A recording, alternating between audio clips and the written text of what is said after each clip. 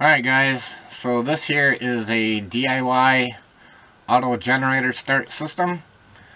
Um, I did a video year, year and a half ago um, on a on a controller I built, and I was gonna ma manufacture it, but the cost to do so would have been extremely high and way out of the market price point. I think most people thought that that was only going to cost a hundred bucks, and no, it's like a twelve hundred dollar controller this here you know by the time you have you buy the parts and put your time into it yeah then you'll have maybe a hundred bucks into it. So all it consists of is two of these boards and a linear actuator solenoid. And what you're going to do is you're going to use one of these boards to control your starter and that solenoid to uh, apply the choke to get the engine started and then a second one to control the ground circuit for the ignition coil. And on my system um, both uh, circuits are a ground sink um, circuit.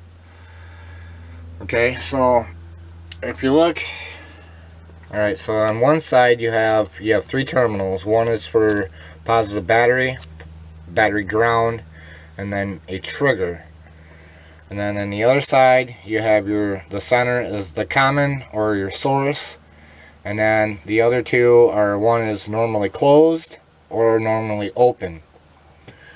So um, on your ground circuit for your your ignition coil you're going to use the normally closed so that when this thing cycles off that it'll make the ground killing the engine and then on your other one, you're going to use the normally open. So, you know, to start the engine, you're going to apply power to the starter and that, that choke solenoid for approximately one second. So it'll close the circuit for one second. The engine will fire up and then that'll go off and then it'll stay off for the remaining portion of the run. So then your your uh, the other board that controls your ignition cycle that that'll uh, control your your run time how long you want it to run for. Now there are other functions in here. I think it's function 10 where um, like on your your AGS coming from your inverter your trigger if that's um, a high signal the the board will will initiate the the relay, but it won't start a countdown until it goes low again. So that could be your, your float mode. So you could uh, um, have the have this active while that's high, and then once it goes low, um, you could uh, you know initiate a, a, countdown for like 15 minutes, a half hour for for a float mode charge. But mine, I just uh, I just run a 40 minute cycle and that's fairly easy to to do. Um, I'll uh, detail that more on the on the forum. So that's the basic wiring. Now your trigger uh, to trigger these things can come from multiple sources. If you have an inverter that has an AGS built in then you just use uh, one leg would go into the trigger um, terminals of these boards. And then your the other side of that goes to uh, a positive um, uh, output from your battery.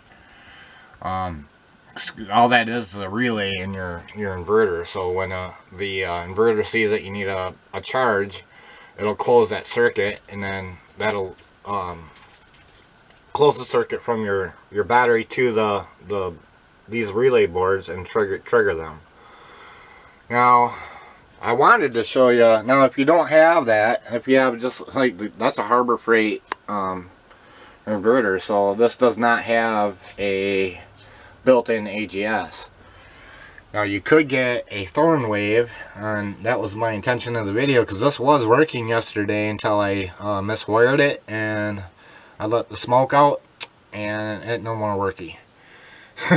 so I had to build a, an Arduino um, controller, which is fairly simple. I'm going to detail that on the on the website too, on the uh, forum. You can check out that check that out. The code will be there, and it's it's fairly simple. It's just got one input and one output, and you just program it with the code I provide.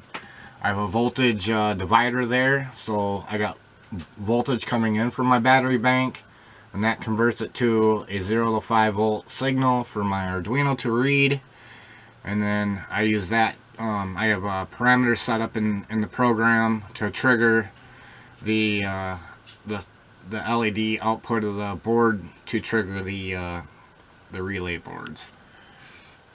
Alright, so now I'm to show you how it works. I got a a space heater here.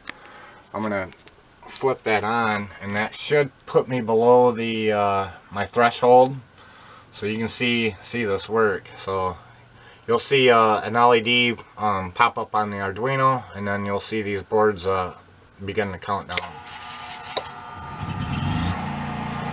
So you can hear the generator running. That top one went for one second and then I'm at 2500 seconds which is roughly 45 minutes. Alright, so we're out by the generator. As you can see I got a, a wire lead going to the uh, the generator. That's uh, the the wiring from those the relays, the built-in relays on those boards. Okay, so I have my red and black and green here are the white are the power wires going to the board. So the red and black is the uh, the power wires um, to power the boards and this green wire is for the ground circuit um, on the relays alright so now here I just mounted up a, uh, a push solenoid made a little pusher bar to push my choke just shut that off a minute um, when this engine is vibrating that'll come back Alright, so let me get a better shot of this. Because I had to put a guide on there because that, that'll just spin, right? So you can see I've done a piece of steel around the body of it so that it can't it can't twist around so it has to stay there. You can see it's pushing my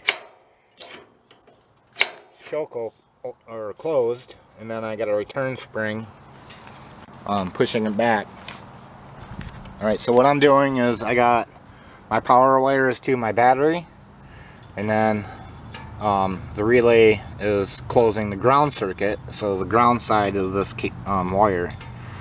So that's pretty easy. Now on my generator I got a two wire solenoid and when you hit the switch that closes the ground circuit of the solenoid. So as you can see as I, I tapped into the the ground side of the switch and when my relay closes it completes the ground circuit to the solenoid and the, the solenoid will fire. Now if you see this yellow wire that goes to the low, low oil pressure or low oil sensor of the engine. Most modern generators have that.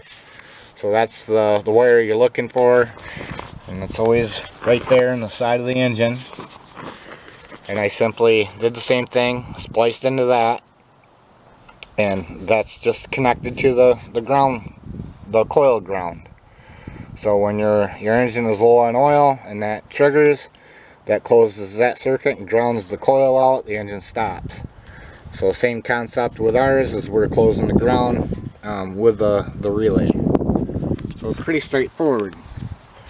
So just so you can see how it works out here, I got the, I brung this out, I got an extension cord going out the side of the RV. So you can see the, so I'm going to flip this on.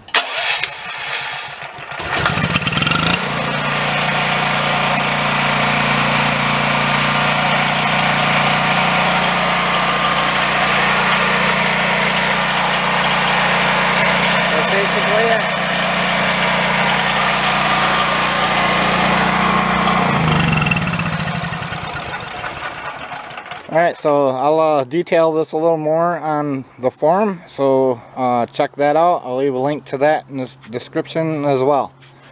Alright, have a great day. Thanks.